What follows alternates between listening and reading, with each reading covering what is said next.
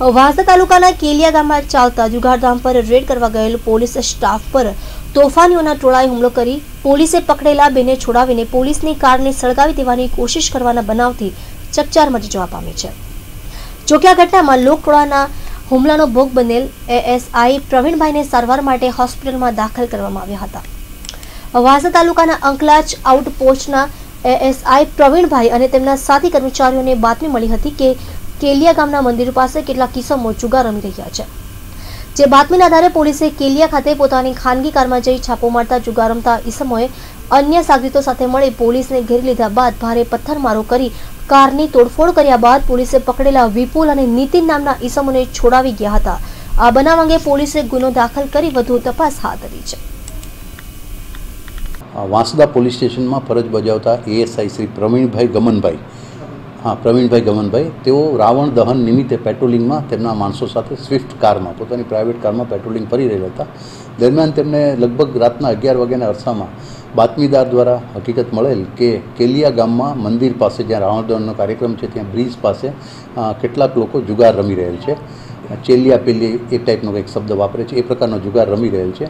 આથી તેઓ ત્રણેય જણા ત્યાં આગળ ગયેલા હતા અને જુગાર રમતા ઈસમને પકડી પાડેલ હતો.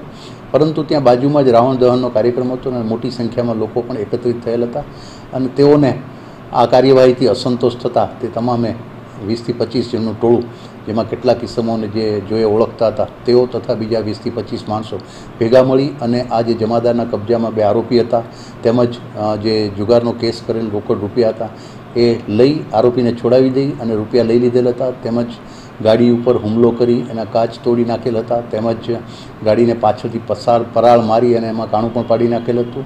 અને કોઈક જ્વલનશીલ પદાર્થ, પેટ્રોલ કે ડીઝલ હોઈ શકે, તે પ્રકારનો તેમની ઉપર છાંટી સળગાવવાનો પણ પ્રયત્ન કરેલ. આથી વાંસદા પોલીસ સ્ટેશનમાં જે અંગે એએસઆઈ શ્રી પ્રવીણભાઈની ફરિયાદ આધારે આઈપીસી કલમ ત્રણસો સાત વગેરે મુજબનો ગુનો દાખલ કરવામાં આવેલ છે.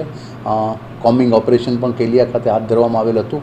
પરંતુ હાલ આરોપીઓ પોલીસ પકડથી દૂર રહેલ છે. જે અંગેની તપાસ circle police inspector Shri Sagar નાઓને સુપ્રત કરવામાં આવેલ છે. હુમલામાં કેટલા ગંભીર થયા છે હુમલામાં ફક્ત એક જ પ્રવીણભાઈ જે એએસઆઈ છે ફરિયાદી શ્રી તેઓને એકને જ વાગેલ છે. કારણ કે જે પથ્થરમારો થતો તો એમની કારની એક સાઈડ તે હતા ડ્રાઈવર સાઈડે. બીજા બે ઈસમો જે હતા એ ડ્રાઈવર સાઈડની વિરુદ્ધની સાઈડમાં હતા. એટલે એ બાજુ પથ્થરમારો થયેલ નથી. અને પાછળની સાઈડ જે છે ત્યાં આ લોકો ઉપર જે જે જ્વલનશીલ પદાર્થ નાખીને હુમલો કરવામાં આવે ત્યારે તેઓ સમય સૂચકતા વાપરી અને ગાડીમાંથી બહાર નીકળી ગયેલા હતા. અને કેટલાક તીક્ષ્ણ હથિયારના પણ ઘા મારેલા હતા પણ તેઓ નજર પેલાને કારણે એની ત્વરિત એક્શનના કારણે બહાર આવી ગયેલા હતા એટલે કોઈ મોટી ઈજા કે એવું કંઈ નુકસાન થયેલ નથી. ફક્ત પ્રવીણભાઈને ઈજા થયેલ છે. પ્રવીણભાઈ હાલ સારવાર હેઠળ છે પ્રાઇવેટ હોસ્પિટલમાં વાંસદા ખાતે સારવાર હેઠળ છે. તેમની હાલત સ્થિર હોવાનું ડૉક્ટરશ્રી દ્વારા જાણવા મળેલ છે. આજરોજ અમારી નોકરી સત્તર જીરોથી અંકલા ચોપી વિસ્તારમાં પીસી સંદીપભાઈ રમેશભાઈ સાથે રાવણ દહણ નિમિત્તે પેટ્રોલિંગમાં હતા.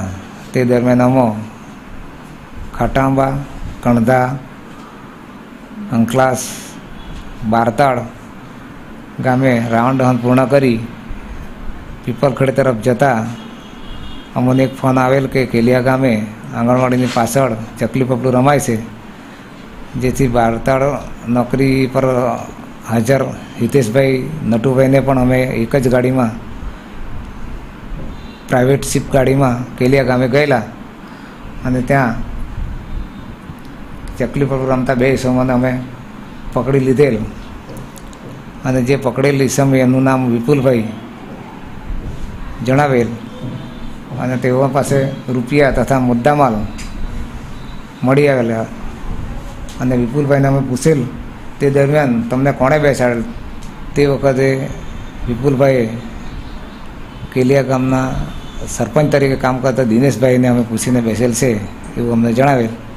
ને અમને એ લોકોને આરોપીને બેસાડેલ તથા પૈસા મૂકેલ મુદ્દામાલ તે ગાડીમાંથી લઈ ગયેલ અને ગાડીને સળગવાનો પ્રયત્ન કરેલ ને અમને બી પથ્થરમારો કરતાં ઈજા થયેલ છે.